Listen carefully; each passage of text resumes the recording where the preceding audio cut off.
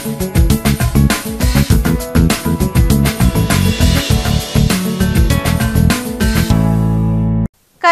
పదకొండవ డివిజన్ కట్టారాంపూర్లో ఏర్పాటు చేసిన ప్రజాపాలన దరఖాస్తుల స్వీకరణ శిబిరాన్ని సందర్శించారు రెవెన్యూ అధికారులు. తహసీల్దార్ రమేష్తో కలిసి శిబిరాన్ని సందర్శించి దరఖాస్తుదారుల సమస్యలను అడిగి తెలుసుకున్నారు ఆర్డీఓ మహేశ్వర్. అనంతరం దరఖాస్తుదారుల నుండి దరఖాస్తులు స్వీకరించారు స్థానిక కార్పొరేటర్ ఆకుల నర్మదా నర్సన్న. ఈ సందర్భంగా వారు మాట్లాడుతూ ప్రజల నుంచి వచ్చిన దరఖాస్తులను పరిశీలించి అర్హులకు అందేలా చూడాలని ఆర్డీఓను కోరారు. అనేక మంది కొత్త రేషన్ కార్డు కోసం దరఖాస్తు చేసుకుంటున్నారని అలాగే మహాలక్ష్మి గృహజ్యోతి ఇందిరమ్మ ఇండ్లు చేయూత పథకాల కోసం భారీగా దరఖాస్తులు వస్తున్నాయని తెలిపారు. ఈ కార్యక్రమంలో నరేష్ బాబు మున్సిపల్ సిబ్బంది పాల్గొన్నారు. ప్రభుత్వం నూతనంగా ఎన్నుకోబడిన ప్రభుత్వం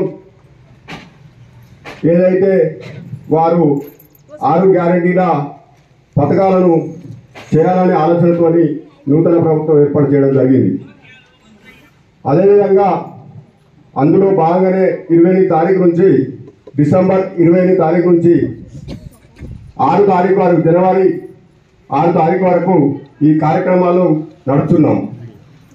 అందరూ కూడా పదకొండవ డివిజన్లో ఉన్న కుటుంబ సభ్యులందరూ కూడా వారి వారు అప్లికేషన్స్ వారికి ఉన్న ఇబ్బందులు వారికి పెన్షన్స్ కావచ్చు లేకుంటే ఇందిరమ్మ కావచ్చు లేకుంటే మహాలక్ష్మి కావ మహాలక్ష్మి కావచ్చు గృహజ్యోతి కావచ్చు ఇంకా ఇవన్నిటి కొరకు వాళ్ళు రేషన్ కార్డు కావచ్చు ఇవన్నిటి కొరకు కూడా అప్లికేషన్ చేసుకోవడం జరిగింది. ప్రజా పాలనను కోరుకొని ప్రజా ప్రభుత్వాన్ని ఎన్నుకున్నందుకు మీ అందరికీ మరోసారి హృదయపూర్వక ధన్యవాదాలు. మాట ఇచ్చినట్టుగానే ప్రమాణ స్వీకారం రోజునే అభయహస్తం ఆరు గ్యారంటీల ఫైల్పై తొలి సంతకాన్ని చేసింది మన ప్రభుత్వం. కొలువు తీరిన నలభై ఎనిమిది గంటల్లోనే తెలంగాణ ఆడబిడ్డలకు ఆర్టీసీ బస్సుల్లో ఉచిత ప్రయాణం.